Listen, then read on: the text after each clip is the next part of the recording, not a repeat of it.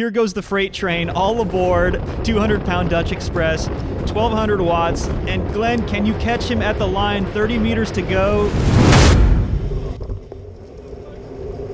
Hey, what's up, guys? Welcome back to the channel. We are week number two at Glenn's Interclub race from the Netherlands. Welcome back, Glenn. Hey Jeff, thanks for having me again, and I'm more excited to talk about this race than last race. yeah, yeah. So let's actually recap real fast from last week, just to keep everyone up to speed. So, yeah, Glenn, it wasn't the it wasn't the the 2020 Glenn that I remember. Um, you still did okay, but uh, but yeah. So you are sitting third place in the sprint points competition with 11 points, and then you are eighth in the overall, six seconds behind the leader and you're going for both, man. Why not? Yeah, why not? And damage is not that big, so uh, yeah, everything can happen. But you got some work to do because uh, those those seconds are hard to come by, and those points are, are hard fought. So, with that said, should we dive into week number two? Yeah, let's go. All right, Glenn, we're just two laps into this race, but things are about to blow up, and that's because there is a new competition in your interclub, fastest lap. Tell us about that. Yeah, the fastest lap. Uh, this is a huge one because you can get five bonification seconds with um, getting the fastest lap of the day. And and it looks like you're committing yourself to this on this lap because you you did a thousand watts up and over this hill, and now there's a gap, and you're doing more six, seven, eight hundred watts to close this gap down. And are you thinking to yourself in this moment, like maybe I can get that bonus lap prize on this lap? So yeah, of course, because um, I started at, la- at, at last uh, of the peloton, uh, crossing the finish line, and it had been fast. As you can see over here, we're riding uh, well over 50 k's an hour, and um, yeah, try. Uh, I thought, uh, why not try it? Yeah, start at the back, but then finish at the front. That's a good chance to to win the prize because you know that you're faster than everybody else. But also, it must be a bit of a risk because you know this isn't the this isn't a, a prize lap. This isn't the final lap of the race, obviously. So this is a big commitment and energy to, to try to nab those five points. But if it doesn't work out, say the last lap is a half a second faster, then this is all for nothing, right? Yeah, exactly. But you got to be opportunistic in bike racing, and so everyone can see that I'm uh, committing here and um, showing that I'm strong. So I, I have I, I'm I'm a force to be reckoned with, you know. And it worked out for you. I'm, I'm glad to report that you that this was in fact the fastest lap of this race. So you were awarded the five seconds, and congrats, man. Let's um that that's going to be big. Like like Glenn said, that's that's huge in the overall standing. So let's fast forward to the first sprint points competition and see how that shakes out. All right, Glenn, six laps in. That means it's sprinting time, right? Yeah, get the primes. And look at you protecting the inside, man, like a seasoned sprinter right here. Fourth wheel with about 300 meters to go, and then here comes your lead out. Does it does it get any better than this? Yeah, this is Red Gloves, who is leading me out perfectly. And you see me here uh, winding it up, and um, yeah, I, I can I have a little bit left because he's doing all the all the work on the front, so I can uh, easily uh, get my wheel in front of him before the line. Picture perfect sprint, man. I like yeah. to see that. Unfortunately, there were what two riders still off the front.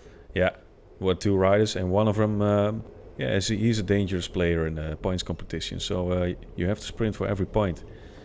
Yeah, they all they all add up right at the end of the season. Yeah. Um, so, so best of the rest. Yeah, and despite you having a good lead out, it's still a big commitment and energy, right? You're still up to like 180 beats per minute, and then the nature of this course, you're immediately hit with the the major hill on the course.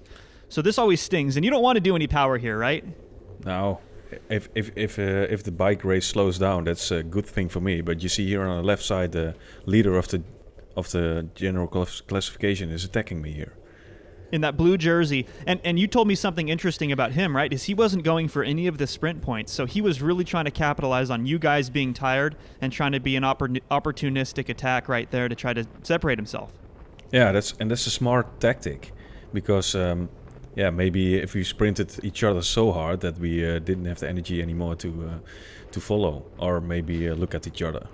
And look what it forces out of out of you, Glenn. I mean, you had to do another 1200 watts. That was like another sprint. And a lot of people I think would just say like, "Oh, whatever, that'll come back." And that's how breakaways get away. But yeah. you uh, you saw the danger, you sprinted across, and now you're back up to 181 beats per minute, which stings, but that's that's an absolutely necessary effort. Should we go now to the uh, second sprint and see how that shakes out? Yeah, let's go.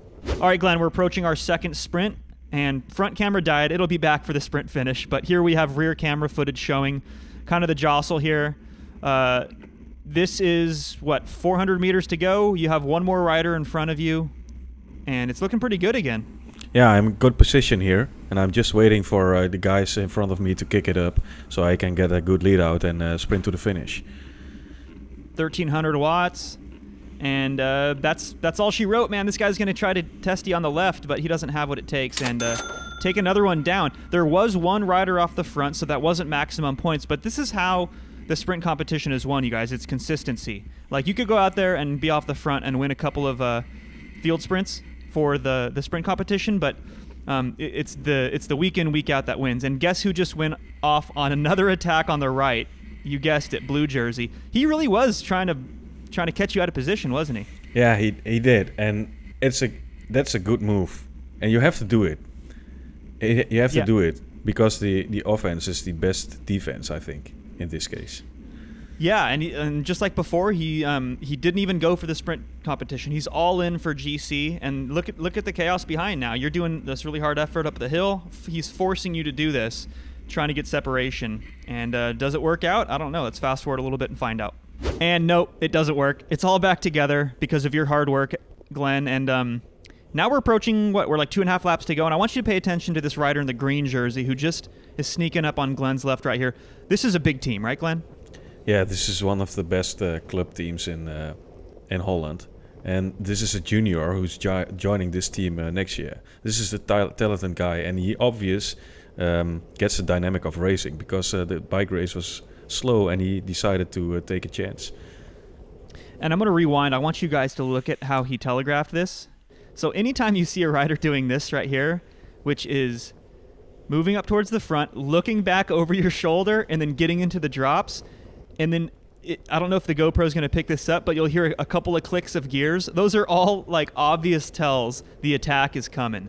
So um, that's exactly what happens. But man, when he goes, he goes. That the little junior frame of his, all of probably uh, 55 kilos or or whatever, like man, they can accelerate, can't they? Yeah, and uh, they were they were gone. We never saw those guys again.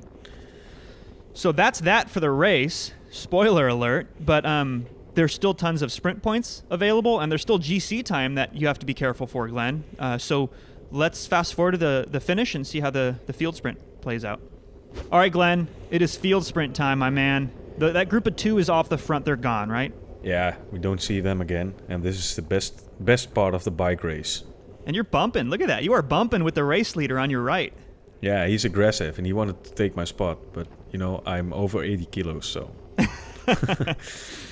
Yeah, that ain't gonna happen. Um, he he gets he, he gets the upper hand on you there just for a second, but this guy comes on the left to the rescue, moves you up into position, and at this point you're just thinking, how do I get to like second wheel with 250 meters to go? Right? That's what I would be thinking. yeah, you don't want to be uh, in front uh, too early, but also uh, there's a few corners in the last 300 meters, so um, yeah, you have to be uh, you have to be careful, and you have to uh, be opportunistic uh, about the gaps who are who will who will open. Th- there's a dynamic here between like, yes, I want the maximum draft possible, but I also don't want to get boxed in because right now I'm looking at this thinking like, yeah, your draft is great, your position's still good, you need to move up eventually, but you're looking like in danger of potentially getting boxed in. I like it that you're moving off to the right here, to the outside, because you always want an escape plan. You'd never want to get boxed in as a sprinter. No, no, and the guy in front of me was taking uh, taking a leap forward, so uh, I was joining his wheel. And you see here the rider on the left, he is le- he's letting a gap where I can uh, throw my bike in, and s- with a Yeah, you with gotta bit of take that opportunity. Yeah, yeah. That was great. That was great because you almost got boxed in. And by the time you get to third wheel, fourth wheel, here goes the freight train, all aboard. the Yeah. 200 pound Dutch Express, 1200 watts. And Glenn, can you catch him at the line? 30 meters to go. I have Hell to. yeah. I have Hell to. yeah. Dude, that was so exciting. I love that that. I want to I wanted to play that just one more time, just that moment when you get on this enormous guy's wheel because there is a moment here with 110 meters to go. These two riders on your left and your right both have a chance to sneak in and try to take this wheel from you.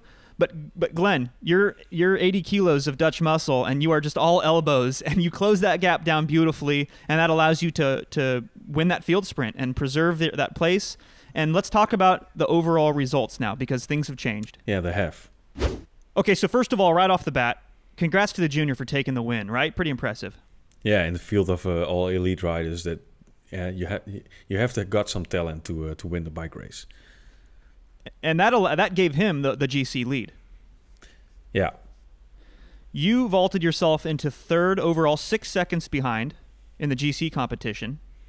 Congrats there. But let's talk about sprint points, man. Winner, winner, chicken dinner. You are leading the sprint competition now. You have 27 points, second place 24.